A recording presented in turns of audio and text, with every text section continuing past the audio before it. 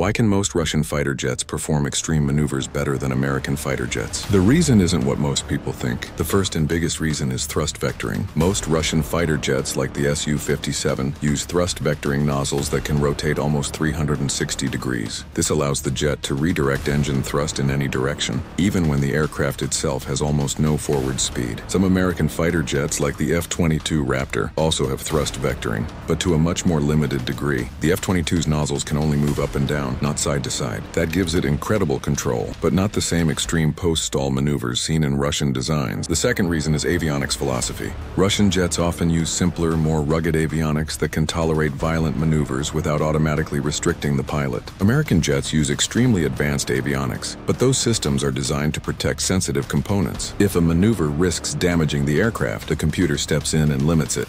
So while Russian fighters can look more dramatic in close-range air shows, American jets prioritize system safety, sensor dominance, and real combat effectiveness. But here's the real question. Does superior maneuverability actually mean a Su-57 could beat an F-22 in a real fight?